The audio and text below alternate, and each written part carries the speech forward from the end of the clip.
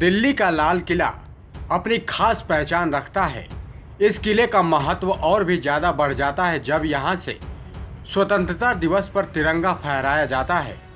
लाल किले से फहराया गया तिरंगा देश की गौरव गाथा, गाता हुआ प्रतीत होता है।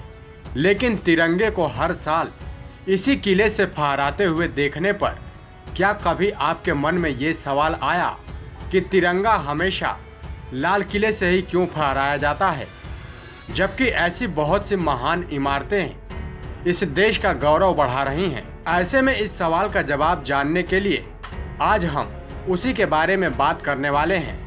आपको बता दें कि लाल किला एक ऐसी इमारत है, जो मुगल काल से लेकर आज़ादी के दौर तक की बड़ी घटनाओं की गवाह रही है। इस ऐतिहासिक इमारत की बुनियाद सोलह में मुगल बादशाह शाहजहां ने रखवाई थी। इस इमारत के निर्माण में नौ साल का समय लगा। इस किले का रंग हमेशा से ही लाल नहीं था, बल्कि इसके निर्माण के समय ये किला लाल और सफ़ेद रंग में बनवाया गया था, जो शाहजहां के पसंदीदा रंग थे। उस समय इस किले का नाम किला मुबारक रखा गया था। समय बीतने के साथ किला अपनी चमक खोने लगा। इसलिए अंग्रेज़ों के शासन काल में इस पर लाल रंग करवा दिया गया और तब से इस किले का नाम लाल किला रख दिया गया।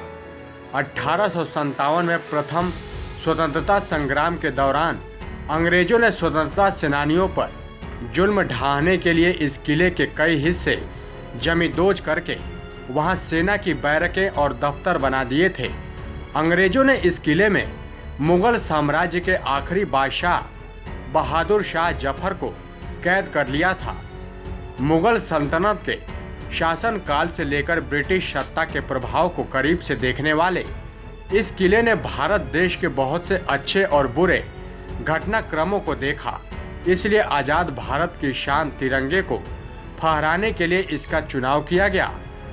भारत की आज़ादी के बाद लाल किले की प्राचीर से सबसे ज़्यादा सत्रह बार तिरंगा फहराने का सौभाग्य भारत के पहले प्रधानमंत्री पंडित जवाहरलाल नेहरू को मिला।